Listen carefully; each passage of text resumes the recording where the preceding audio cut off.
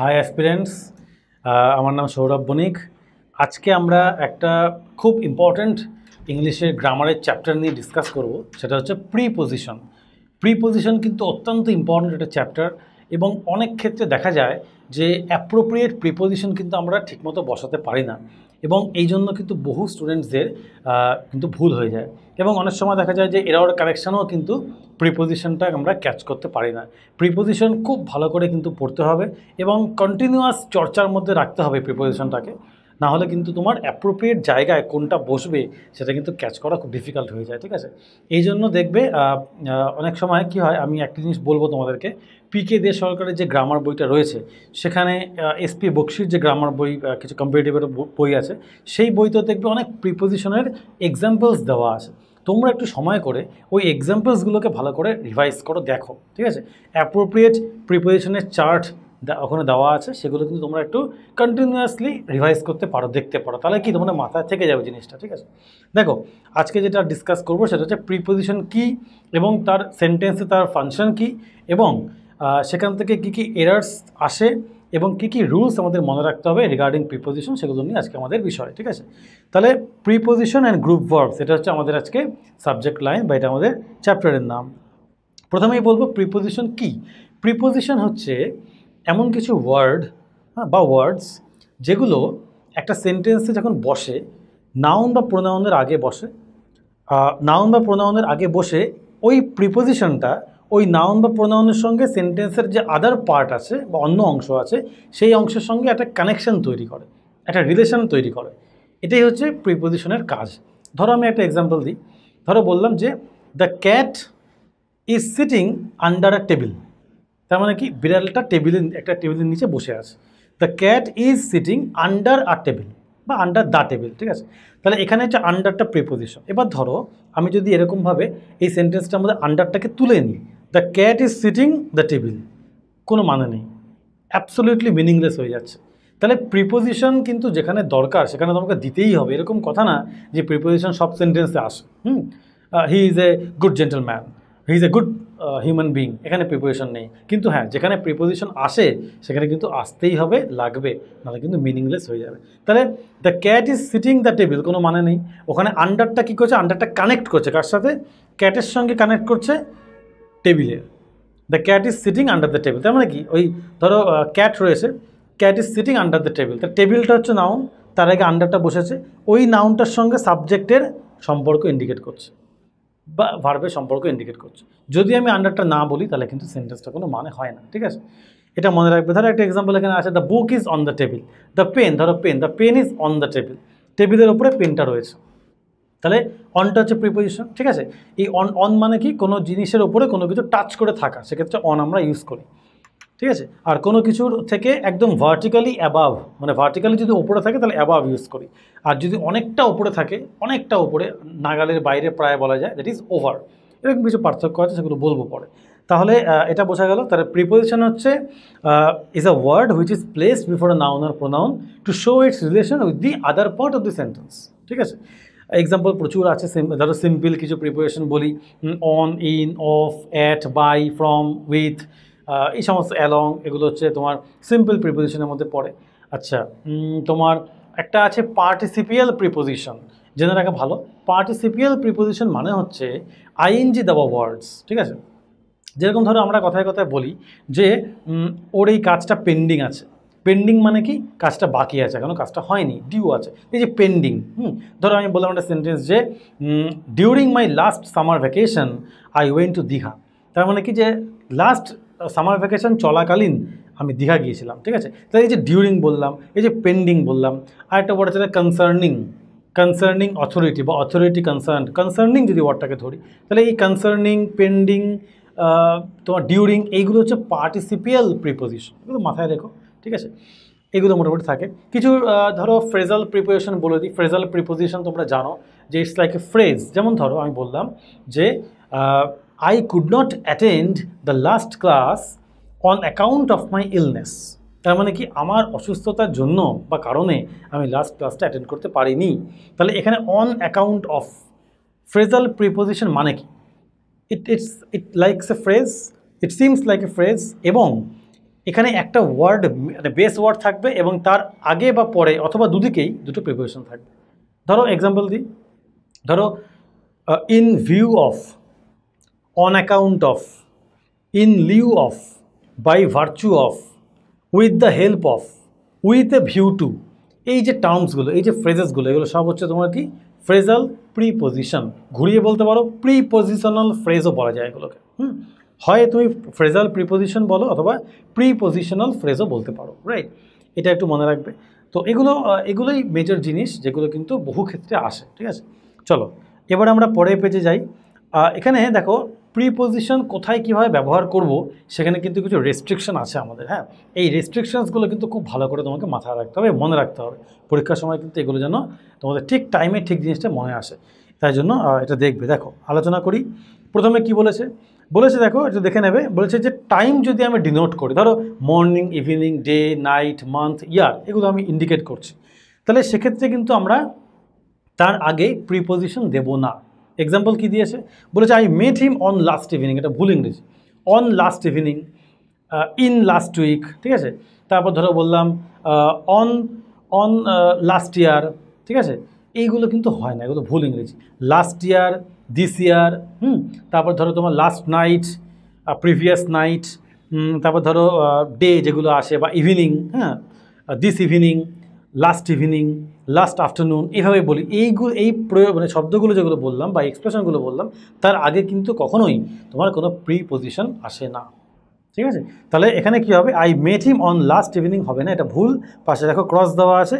Exact sentence বা proper সেন্টেন্সটা হচ্ছে I met him last evening I attended the party last month in last month হবে না। On last month এসব হয় না। ঠিক আছে? এটা কিন্তু মনে রাখবে। নেক্সট চলে আসো। সেকেন্ড রুলে আমরা চলে আসব। কি বলেছে? যে নাউন্সগুলো বলেছে, দেখো ইয়েস্টারডে টুডে টুমরো এই যে তোমার অ্যাডভার্বগুলো রয়েছে, এগুলো জেনারেলি অ্যাডভার্ব বলি আমরা। তাহলে এই অ্যাডভার্বগুলো কিন্তু কি বলেছে? Are also used without prepositions এগুলোর আগে কিন্তু প্রিপোজিশন দেই না। কীরকম? ধরো আমি বললাম I will go to Park Street today আমি আজকে পার্ক স্ট্রিট যাব। তাহলে I will go to Park Street in today on today at today এসব কিন্তু কিচ্ছু বসে না। Today tomorrow and yesterday these adverbs or terms never go with any preposition বা never take any preposition before them ঠিক আছে? এটা মনে রাখবে। এক্সাম্পলটা দেখে নেবে is very easy example next দেখো নাম্বার থ্রিতে চলে আসো। কি বলেছে? Words denoting time and place like abroad minute bit inside outside এই যে এক্সপ্রেশনগুলো স্পেশাল এটা মনে রাখবে, এই এক্সপ্রেশনগুলো কিন্তু কখনোই প্রিপোজিশন ক্যারি করে না। Example Rohan lives in abroad এটা হবে না। অ্যাব্রড মানে বিদেশ, ঠিক আছে? I am going abroad I am going to abroad না আই এম গোয়িং অ্যাব্রড ঠিক আছে? He is coming from abroad সেটা তুমি বলতে পারো যে ও অ্যাব্রড থেকে আসছে, সেটা ইউজ করা যায়। বাট ইন জেনারেল কিন্তু অ্যাব্রড মিনিট বিট ইনসাইড আউটসাইডে প্রিপারেশন দেবে না। ঠিক আছে? ওকে নেক্সট চলে আসো পরের রুলে নাম্বার ফোর কী বলেছে দেখো? বলেছে if verbs showing movement like go on get go R get এটা যদি মুভমেন্ট বোঝায়, যাচ্ছি পৌঁছাচ্ছি এবং তারপর যদি হোম ওয়ার্ডটা থাকে দ্য ওয়ার্ড হোম তাহলে কিন্তু কখনোই আমরা তার হোমের আগে টু ইউজ করব না। I am going to home হয় না wrong expression I am going home ঠিক আছে? He is coming home he is coming to home এটা কিন্তু হবে না। That will be wrong expression খুব সাবধান। তাহলে এটা একটু মনে রাখবে। যেমন দেখো, এখানে দিয়েছে I went home by train আমি বাড়ি গিয়েছিলাম বা বাড়ি ফিরেছিলাম I return home by train তাহলে কখনোই কিন্তু টুটা বসবে না, ঠিক আছে? আচ্ছা আরেকটা জিনিস বলে রাখি, এই গেটের ব্যবহারটা বলে রাখি।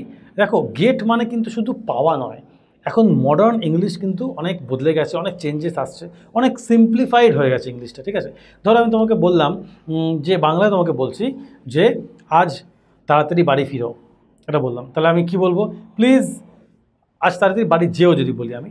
প্লিজ গো হোম সুন বা আর্লি টুডে ঠিক আছে? এটা হচ্ছে প্লেন ইংলিশ এবার গেট দিয়ে বলি, আমেরিকানরা খুব বলে এটা, যে please get home early tonight বা আর্লি টুডে ঠিক আছে? তাহলে গেট হোম মানে এখানে কিন্তু বাড়ি পাওয়া কিন্তু নয়, এখানে বাড়ি পৌঁছানো।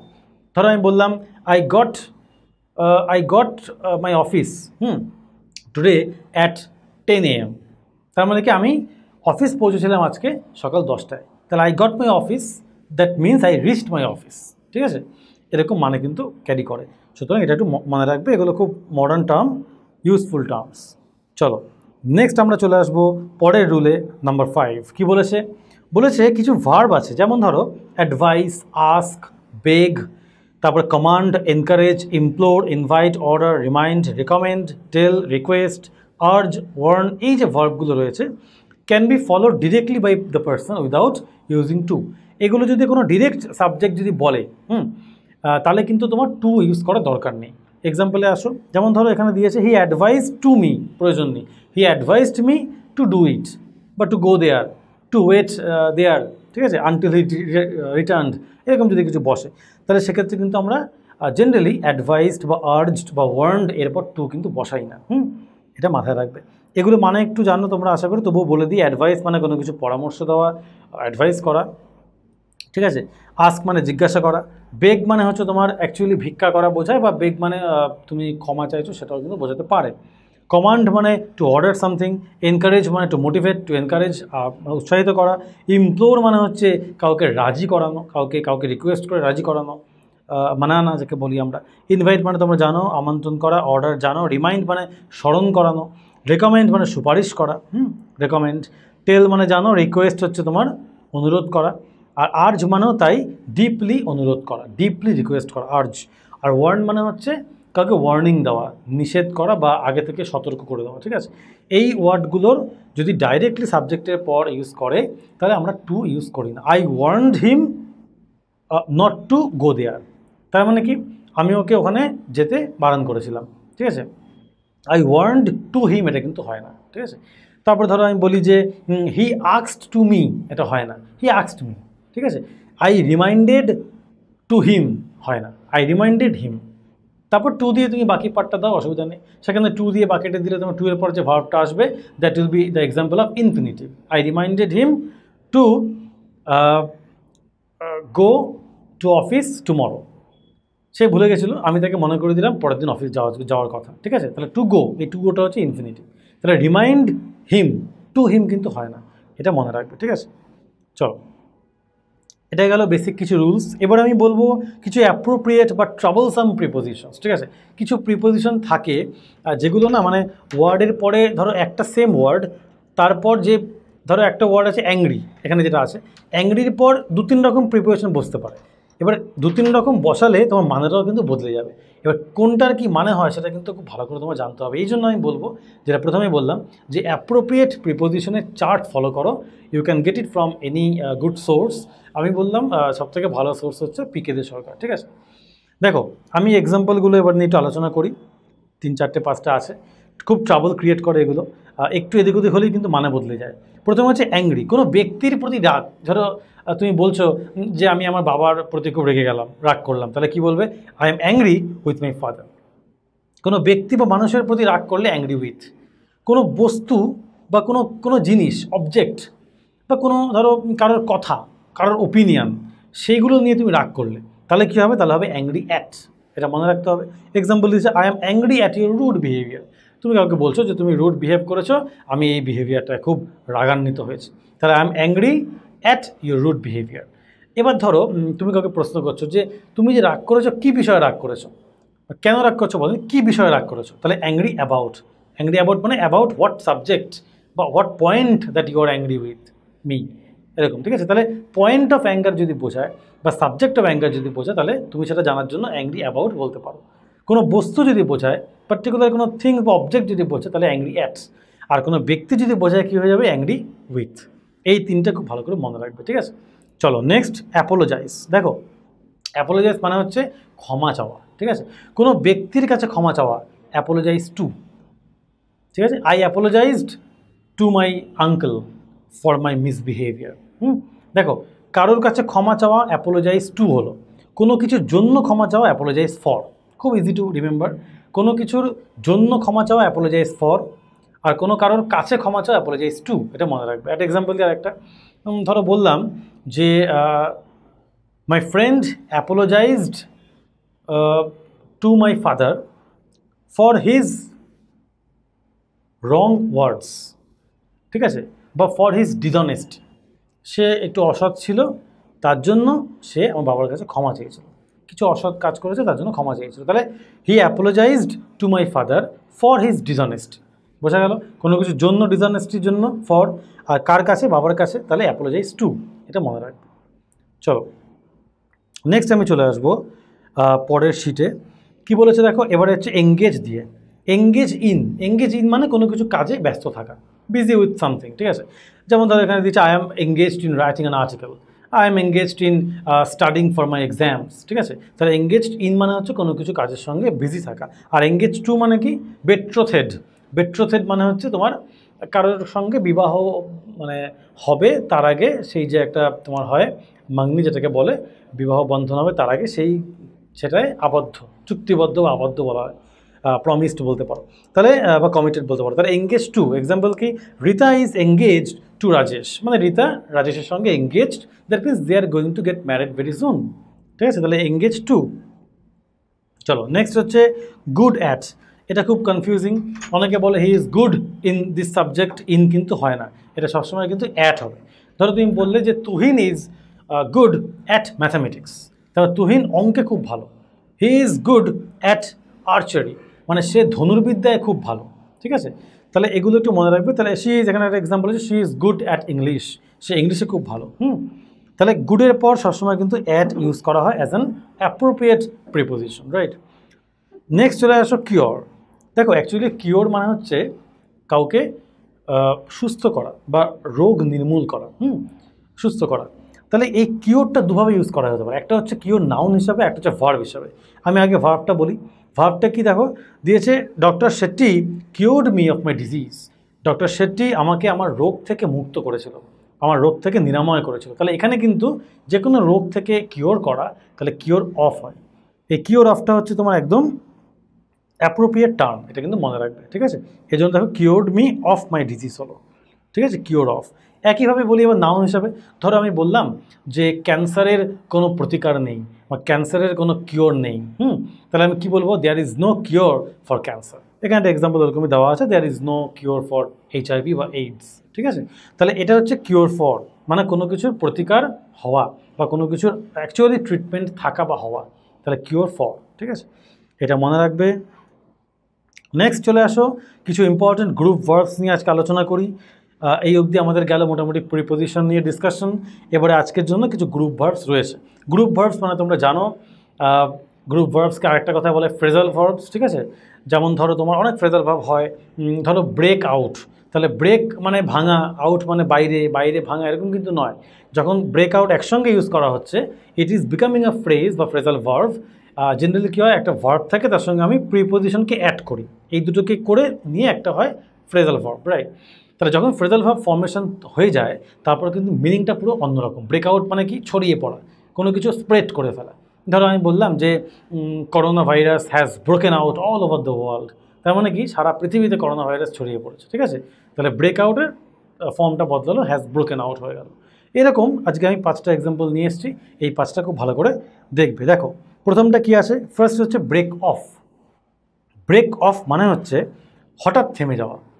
ধরো আমি বললাম যে ক্যাবিনেটে মিনিস্টাররা একটা ইম্পর্ট্যান্ট বিষয় ডিসকাস করতে করতে হঠাৎ থেমে গেল।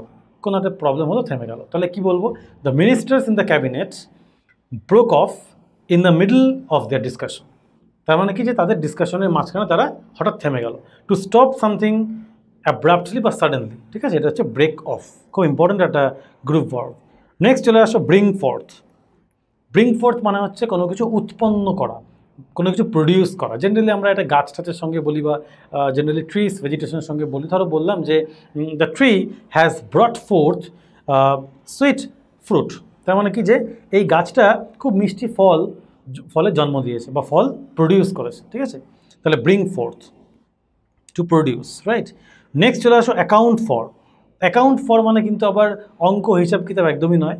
অ্যাকাউন্ট ফর মানে হচ্ছে তোমার কোনো কিছুর জন্য উত্তর দেওয়া বা অ্যাকচুয়ালি বলে জবাবদিহি করা, ঠিক আছে? যেমন এক্সপ্লেইন দ্য রিজন যেমন ধরো আমি বললাম যে you have to account for your activity তাহলে অ্যাকাউন্ট ফর মানে যেটা বললাম, কখনোই কিন্তু হিসাব কিতাব করা নয়। অ্যাকাউন্ট ফর মানে হচ্ছে তোমার কিছু জবাব দেওয়া বা to be responsible to something অথবা তোমার কিছু কোনো রিজনকে এক্সপ্লেইন করা। ধরো আমি যদি বলি যে what you have done you have to account for this তার মানে কি? তুমি যা করেছ, তোমাকে তার জন্য কিন্তু জবাব দিতে হবে রাইট অ্যাকাউন্ট ফর নেক্সট চলে আসো ব্যাকআউট খুব ইউজফুল একটা টার্ম আমরা অনেক সময় বলি কনভারসেশনে ব্যাকআউট মানে হচ্ছে কেউ পিছনে চলে আসা, অথবা কোনো প্রমিস বা কমিটমেন্ট করল, সেটা কিন্তু লাস্ট অব্দি রাখল না। কথার দাম রাখল না, ঠিক আছে? শেষ মুহূর্তে ব্যাকআউট করে অনেকে। তো সেই হচ্ছে ব্যাকআউট তাহলে fail to maintain a promise ঠিক আছে? ধরো আমি একটা এক্সাম্পল দিই যে the person backed out at the eleventh hour তার মানে কি? লোকটা একদম শেষ মুহূর্তে পিছনে হটে গেল। মানে কি? তার কথার থেকে সে রাখল না। কথাটা তার যে কথা দিয়েছিল কমিট করেছিল সেটা রাখল না, ঠিক আছে? ধরো কারোর কথা ছিল যে সে একটা কিছু কাজ করবে, একটা কোর্সে ভর্তি হবে, ঠিক আছে? কিন্তু সে অ্যাকচুয়ালি কোর্সটা ভর্তি হব বলেও হলো না। বা সে একটা পার্টিকুলার পরীক্ষায় বসবে, ও বলল যে হ্যাঁ আমি পরীক্ষাটায় বসবো ফর্ম ফিল আপ করব। লাস্ট মুহূর্তে ফর্ম ফিল আপের লাস্ট দিন বলছে, না, আমি করব না। তার মানে কি? ব্যাকড আউট ঠিক আছে? তাহলে এক্ষেত্রে আমরা ব্যাক আউট কথাটা ইউজ করি। যে কোনো কিছু প্রমিস করে না রাখা, পিছনে সরে যাওয়া রাইট চলো নেক্সট হচ্ছে কাস্ট অফ কাস্ট অফ মানে কি? কাস্ট অফ মানে টু রিলিজ সামথিং বা টু রিমুভ সামথিং ঠিক আছে? Cast off to release something বা টু রিমুভ সামথিং ধরো আমি বললাম যে he cast off his bad concepts about demonetization hmm? তার ডেমনিটাইজেশন নিয়ে তার যে বাজে কনসেপ্ট ছিল, সেটাকে সে রিলিজ করে দিল বা সেটাকে রিমুভ করে দিল রাইট অনেক কিছু নিয়ে আমাদের অনেক ফলস নোশন বা কনসেপ্ট থাকে। তো সেখানে আমরা কাস্ট অফ ওয়ার্ডটা ইউজ করতে পারি, ঠিক আছে? ওকে তাহলে এই মোটামুটি রইল আজকের লেসনে, তাহলে আমরা একটু সাম আপ করি, আজকে আমরা কি শিখতে পারলাম? দেখো, আজকে আমরা যেটা জানলাম, যেগুলো জানলাম, সেটা হচ্ছে প্রিপোজিশন এবং গ্রুপ ভার্ব ঠিক আছে? প্রিপোজিশন কি আমরা জানলাম? যে preposition is type of word which is actually placed before a noun R a pronoun to show its relation with the other part of the sentence এটা আমরা দেখলাম এক্সাম্পল প্রচুর আছে, আমি তোমাদের বলেছিলাম কিছু রেয়ার পার্ট যেমন participial preposition concerning pending during এগুলো কিছু ডাবল প্রিপোজিশন রয়েছে ডাবল প্রিপোজিশন হচ্ছে তোমার ধরো অয়িং টু তারপর ধরো তোমার ডাবল প্রিপারেশন হচ্ছে তোমার ফ্রম উইদিন হ্যাঁ ফ্রম আন্ডার ঠিক আছে? এইগুলো হচ্ছে ডাবল প্রিপারেশন আমরা ফ্রেজাল প্রিপোজিশনটাও আলোচনা করেছি on account of in view of by virtue of with the help of এগুলো আলোচনা করেছি। তারপর তোমার প্রিপোজিশনের কিছু রেস্ট্রিকশনস রয়েছে আমরা ডিসকাস করেছি, ঠিক আছে? যেমন ধরো টুডে ইয়েস্টারডে টুমোরোর আগে প্রিপারেশন হয় না। তারপর তোমার yesterday last month this month হ্যাঁ? তারপরে তোমার দ্যাট ইয়ার লাস্ট ইয়ার এই যে ইয়ার মান্থ উইক এগুলো আছে, এগুলোর আগেও আমরা প্রিপারেশন ব্যবহার করি না, ঠিক আছে? তারপর তোমার আমরা আরও দেখলাম যে তোমার আরও কিছু রুলস রয়েছে, যেমন ধরো অ্যাব্রড বিট মিনিট ইনসাইড আউটসাইডের আগে আমরা কোনো প্রিপারেশন আলাদা করে ব্যবহার করি না, ঠিক আছে? তারপর ধরো আমরা দেখলাম হোম যে ওয়ার্ডটা আছে হোমের আগে কখনো টু বসে না, ঠিক আছে? কখনো টু আমরা বসাই না গো হোম বা গেট হোম বলি, এটা আমরা দেখেছি। তো এই মোটামুটি প্রিপারেশনের কিছু এক্সাম্পলস এবং কিছু বিশেষ রুলস ছিল যেগুলো কিন্তু নোটিসেবল এরপর আমরা কিছু ট্রাবলসাম টার্মস দেখেছি, যেমন অ্যাংরি উইথ অ্যাংরি অ্যাবাউট এগুলো। তারপর ধরো অ্যাপোলোজাইজ টু অ্যাপোলোজাইজ ফর এগুলো দেখেছি। অনেক কিছু আরও আছে চারটা দেখে নেবে। এসেনশিয়াল টু হয় এসেনশিয়াল ফর হয়, ঠিক আছে? তারপর ধরো তোমার ভাইটাল টু হয় ভাইটাল ফর হয়, ঠিক আছে? এরকম দের আর plenty of words and expressions যার পর কিন্তু অ্যাপ্রোপ্রিয়েট প্রিপোজিশন বসে এবং দু তিন রকম বসে তার মানেটাও কিন্তু ডিফারেন্ট হয়ে যায়, ঠিক আছে? গুড অ্যাট আমরা আলোচনা করেছি এঙ্গেজড ইন এঙ্গেজড অ্যাট আমরা আলোচনা করেছি বা টু আলোচনা করেছি, ঠিক আছে? তারপর cure of cure for discuss করেছি আমরা। এগুলো একটু দেখে নেবে ভালো করে, আমার পিডিএফ দেওয়া থাকবে। আর গ্রুপ ভর্ব আমরা বিশেষভাবে পাঁচটা আজকে আলোচনা করেছি, আরও তোমাদেরকে চ্যাপ্টারের শেষে আমি ডেলি দিতে থাকব অ্যাজ ইউজুয়াল রাইট তো এই হচ্ছে মোটামুটি আজকের প্রিপোজিশন লেসন এবং গ্রুপ ওয়ার্ক তোমরা ভালো করে পড়বে, যদি কোনো ডাউটস থাকে বা কোনো কোয়েশ্চেন থাকে, তোমরা আস্ক মিতে অবশ্যই কিন্তু পাঠাবে, ঠিক আছে? ভালো থেকো, ভালো করে পড়ো, আবার নেক্সট সেশনে দেখা হবে। Thank you so much